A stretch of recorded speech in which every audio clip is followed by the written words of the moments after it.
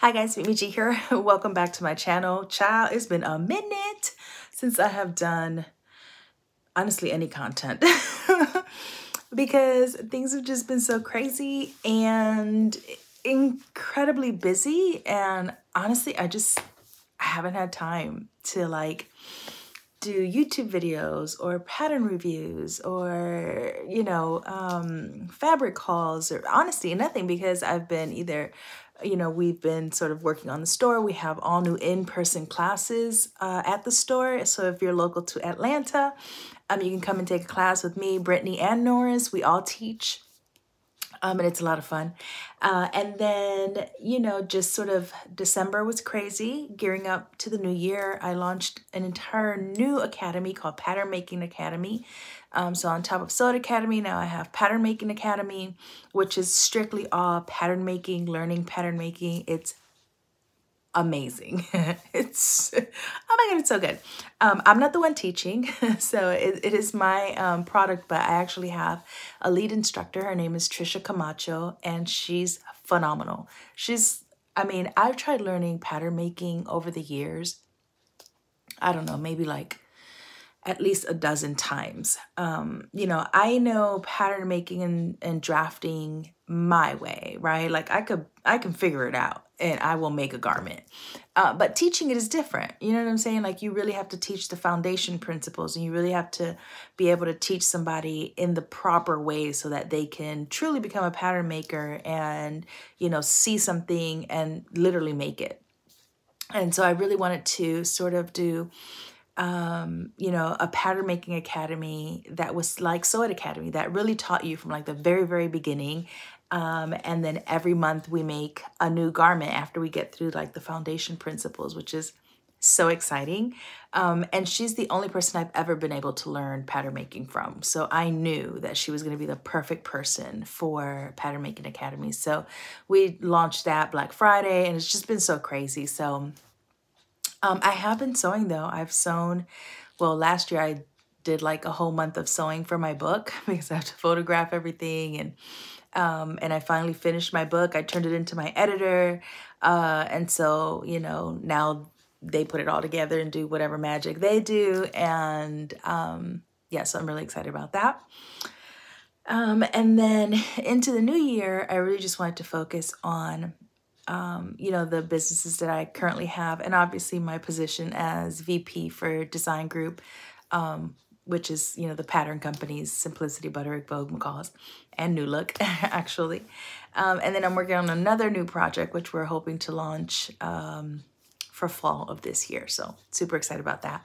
But anyway, um, I had been sewing, and so I thought, yo, I need to do like a pattern review of some of the things that I've been making. So Today I'm going to do a pattern review on McCall's 8007, which is this um, wide leg jean pattern that came out, I think it came out last year.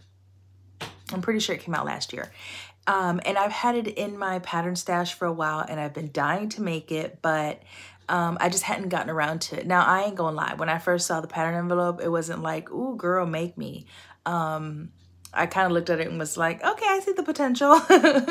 um, and so I knew that if, you know, if I made it, um, that I would love it. And sure enough, I'm a very curvy girl. So um, generally when I see something like um, a wide leg jean that has a high waist, I know that once I put it on, I'm going to love it. Um, so I made it out of a non-stretch cotton fabric. I will say that it was actually a pretty easy pattern to put together. So um, it wasn't super difficult. I will uh, uh, say that the back, you have to make sure to transfer your notches because, and let me show you.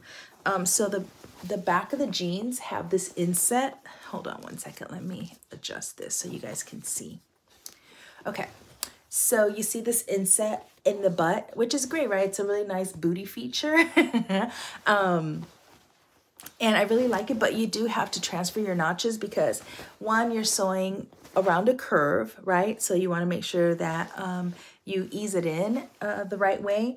Also, um, the waistband was pretty easy. The the belt loops, the fly front. I mean, uh, there was really honestly nothing about this pattern that I found really difficult. It is a jeans pattern, but it's like your, it's not your traditional jean, right? It doesn't have a five pocket jean. Um, it doesn't, you know, have all of those things, but it has some really great top stitching. And I used white top stitching because I wanted it to stand out. Um, the fly front was pretty simple, like I said. Um, I didn't do the underlap of the fly um, because I was lazy. I was like, yeah, I don't need it, right? Um, but I think if I do it again, I will. I will definitely do the underlap. Um, I also really loved the fact that I used just one denim and then I used the right side and the wrong side to give me the contrasting because I did want the contrasting. I thought that was really cool. Um, and they're really wide, like you know what I'm saying? Like, look at that. That's that's a wide leg right there. Um, and I loved it. I thought it was really good. Now this denim is actually a really lightweight denim. It's not super heavy. I would probably, I would probably guess it's probably about a 10 ounce um, denim.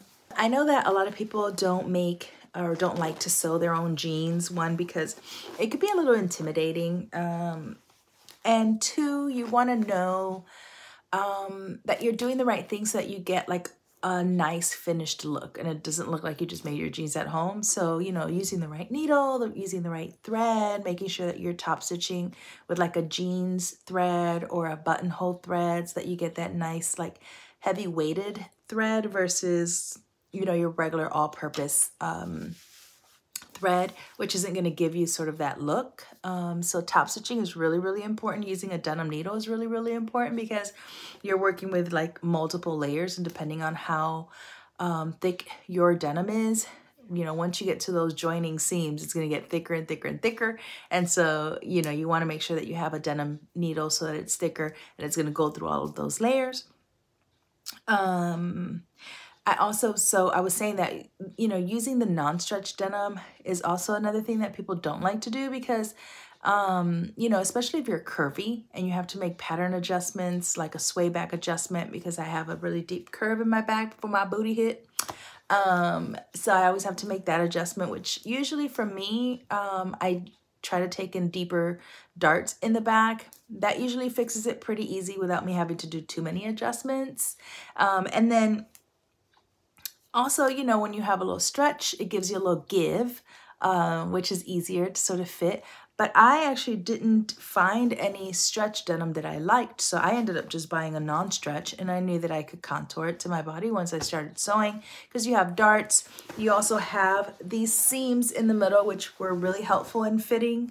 Um, and then for the back, um, this was actually the only part that I wanted to make sure that was going to fit my body because um, once you attach it, it's attached.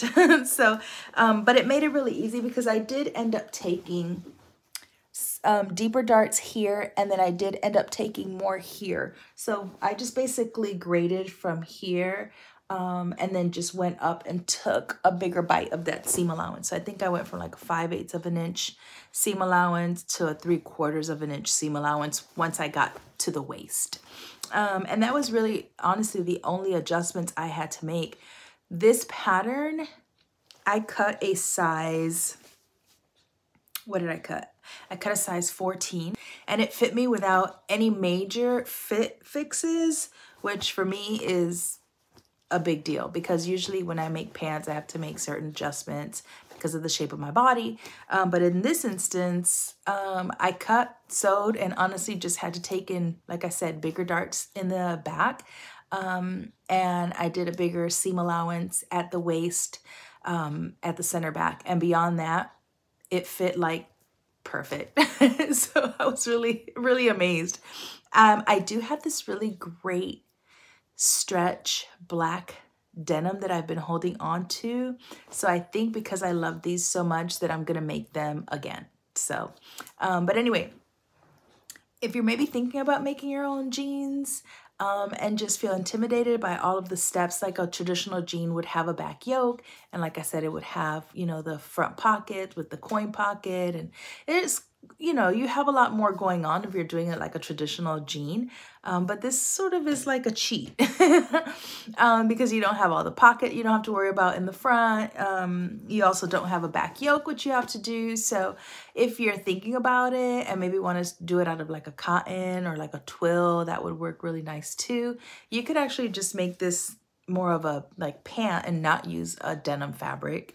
Um, you could do that too. So um, I just wanted to come on and give you guys um, sort of like my little review of the pattern. I think it's actually a pretty easy pattern to put together as long as, like I said, you transfer all your notches and your dots so that you can make the back of the sewing, that sort of curve in the back, um, easier.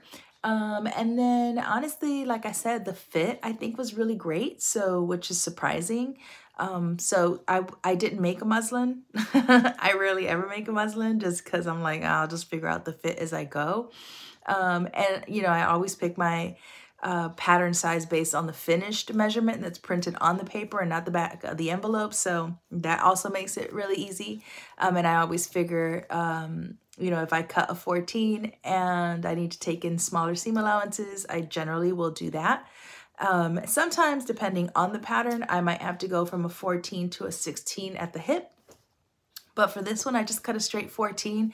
And like I said, I just had to take it in a little bit at the waist because obviously I have a, I think an 11 inch difference between my waist and my, my hips. So I always have to make that adjustment.